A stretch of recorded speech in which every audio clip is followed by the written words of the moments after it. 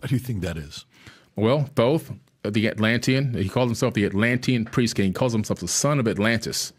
See, these Anunnaki people, they were the ones who built the Atlantean civilization. He started having problems with his brother Marduk. Marduk is in the Torah, he's in the Bible, he's in ancient Sumerian cuneiform tablets.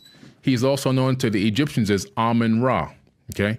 And they started having a battle because Amun Ra, aka Marduk, wanted to take over kingship early ahead of his processional period and it was a big battle going on. He started a two wars. He started a pyramid war to keep to take over early, and he started a pyramid war to keep his reign even going longer.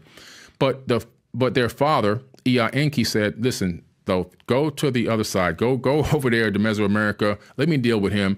Go start a civilization over there." So he left, and he he took Olmecs with him from Africa, and he started the Teotihuacan civilization.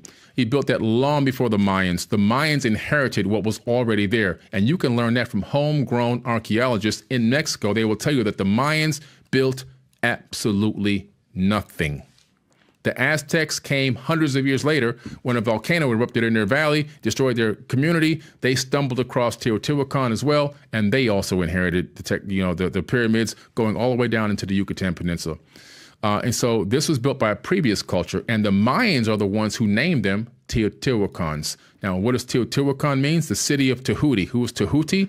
Though it's known as Tahuti in other parts of Africa, it's the same architect, the same man.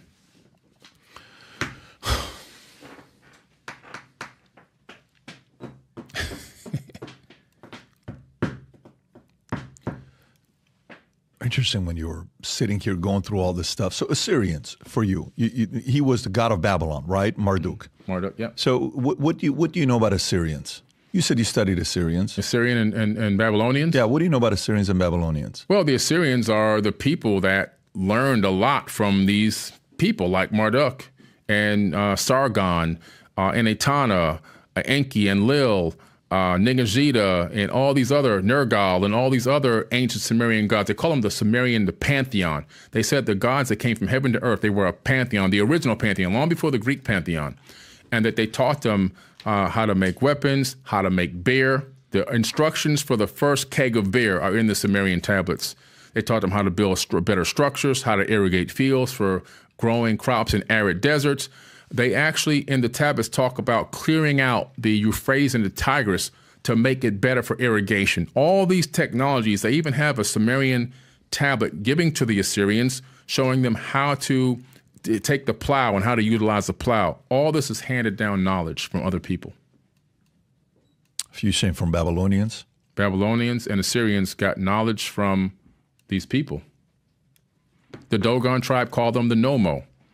And it's interesting that the Dogon have the same similar representation of these people, but they're all the way in Africa, and they say that they came from Sirius B. Now that we know that now we know that there's a trinary star system called Sirius A, B, and C. Sirius B is a failed star. It ran out of fuel. Turned into a white dwarf, just like our sun will in five billion years, right? It's, we have a middle-aged sun. Now, we can't see Sirius B with the naked eye, but they knew it was there. Not only did they know it was there, but they also knew the orbital period. They knew the trinary orbit orbiting, how those stars orbited each other. And for thousands of years, they handed down this knowledge. They even knew from the Nommo the sizes, the shapes, and even the colors of the planets inside of our own solar system long before any astronomers ever figured it out. And that's why the Dogon tribe is a huge anomaly. They used to rule over the land of Kemet before it was called Egypt and they were overthrown and they ended up moving out to Mali, Africa, where they still hold the same traditions till this very day. No police, no military, no prisons, just knowledge.